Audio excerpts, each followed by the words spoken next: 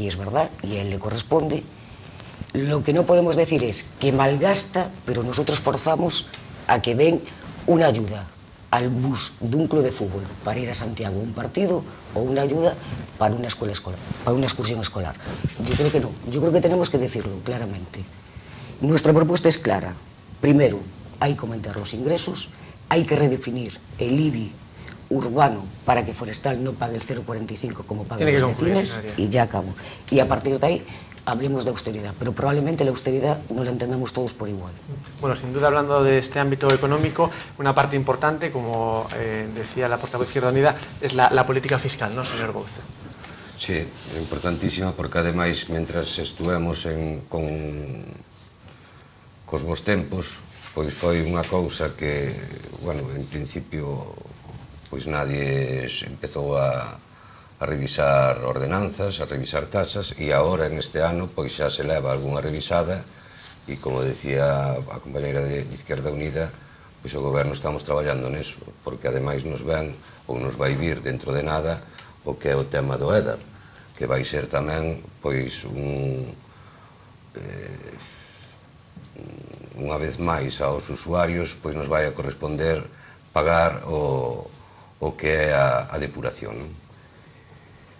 E, bueno, no, no resto é, un, é que senón eu creo que, que meternos nun debate co portavoz do Partido Popular es que ellos son máis austeros, claro. O, o, un pouco comentaba Pilar, eh, no blog do Partido Popular no mes de, creo que era, de, de Xaneiro, pois era unha crítica tremenda porque o Concello pois non puxo luces do Nadal e porque se recortou no que é, aínda que se conservou o que foron as festas do Nadal, eh, baseada sobre todo na ilusión dos, dos nenos e nenas, pois claro, austeridade sí, pero austeridade con prioridades e para facer o, o que se teña que facer.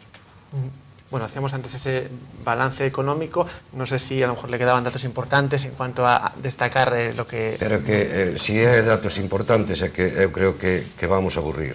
Porque vamos a ver, a min xa sei que 50.000 euros eh, eh, dá de perda o, o servicio de agua, eh, de, do lixo, pero que se, eh, ao fondo que se quere poñer encima da mesa? Que hai que privatizar?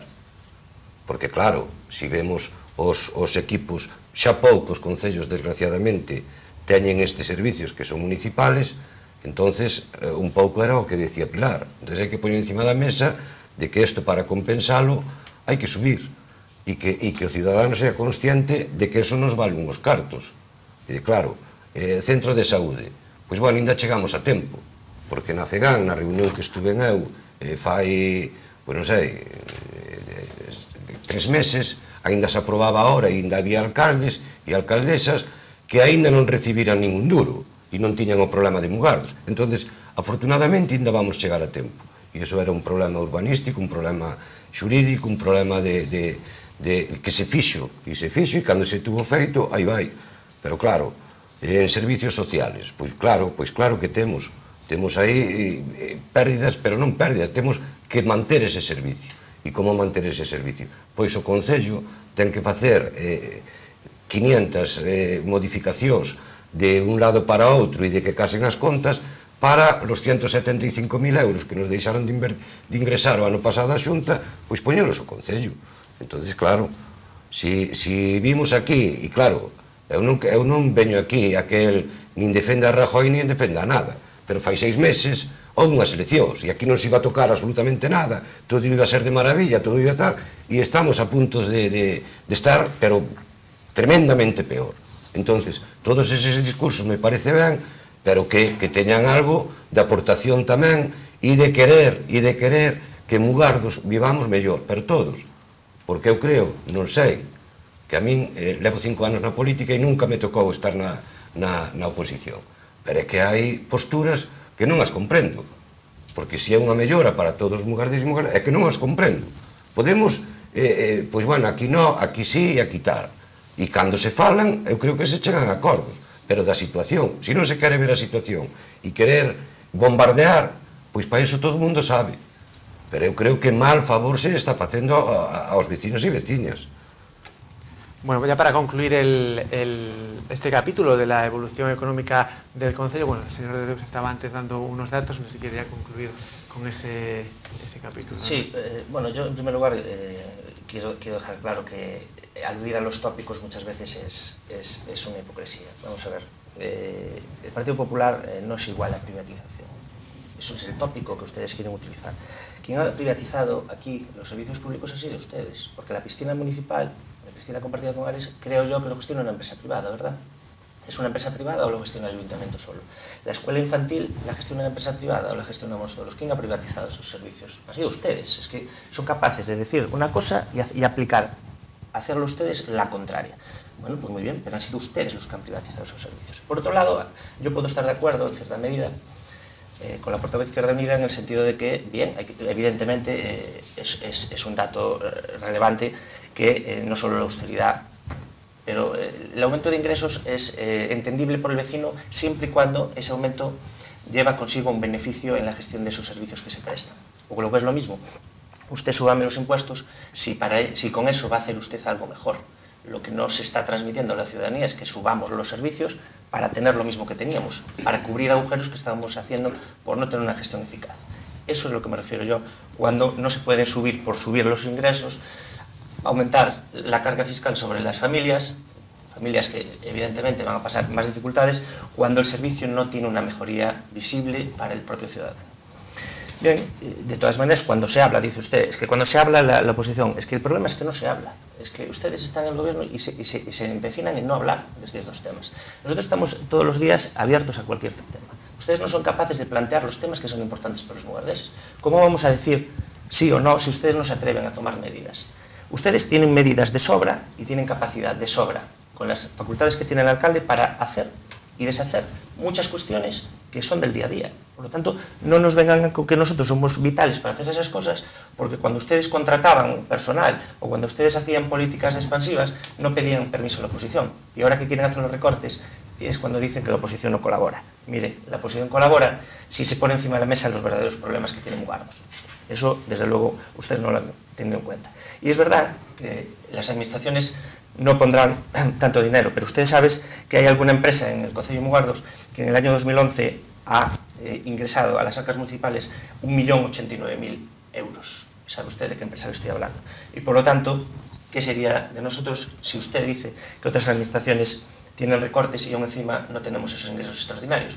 Pues probablemente que si ya tenemos un agujero estaríamos en bancarrota. Esa es la realidad. Y por lo tanto, podemos hablar de todas las cifras que usted quiera, pero cuando quieran hablar, hablan, pero cuando quieran darnos datos concretos, porque hablar por hablar evidentemente no nos lleva a ningún lado. Continuamos y ya para finalizar este bloque económico, eh, ¿cuál es la aportación que puede realizar eh, la señora Díaz para ya finalizar este tema y hablar de, urbanismo, otro tema importante? Mm, para finalizar ya. A ver, nosotros eh, así lo planteamos ya varias veces además.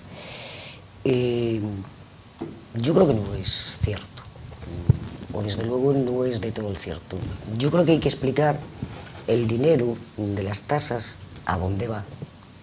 Es decir, cuando se habla de mejora del servicio, mm, yo creo que los vecinos de Mugardos tienen servicio de agua los 365 días del año en buenas condiciones. Y el dinero de la tasa va para el mantenimiento del servicio, no va para la ampliación de la red que se hace con otra partida, como explicamos antes. Es decir, yo creo que hay que explicar a dónde va. Si hubiera que comprar una nueva maquinaria para otro servicio como el ISIO, no va a la tasa, va en otra partida presupuestaria, en la de inversiones. Entonces yo creo que hay que explicar las cosas. Es decir, el mantenimiento del servicio. El servicio de recogida del ISIO Mugardos es bueno. El de la recogida de enseres es un desastre. Pero el, pero el vecino paga cero euros y el Concello aporta al año en torno a 18.000 euros. Que es más, nosotros ya lo dijimos y lo volvemos a repetir.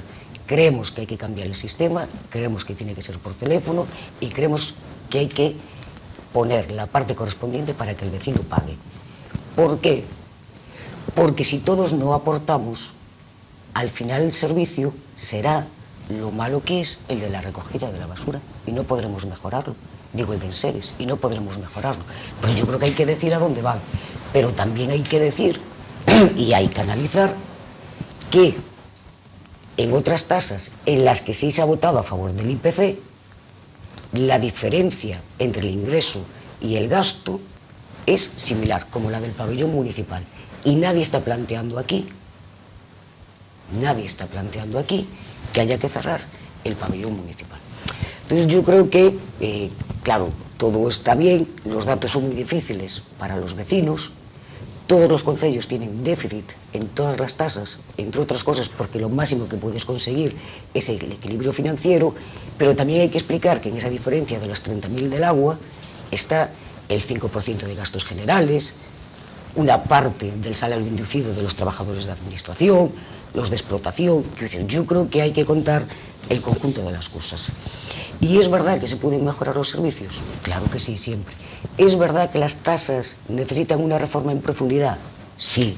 La del agua, la del inicio, la, la del alcantarillado, porque tiene razón Bonzo, va a venir a dar. Claro que sí. Y los impuestos también.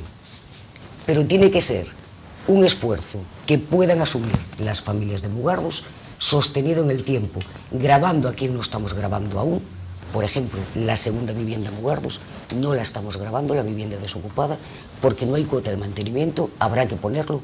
Habrá que alguna vez los vecinos que no son de la villa de Mugardos, pero que tienen el mismo servicio de recogida de lisio, dejen de pagar cuota diferente a la que pagan los vecinos de la villa de Mugardos por el mismo servicio. Claro, todas esas cosas habrá que abordarlos.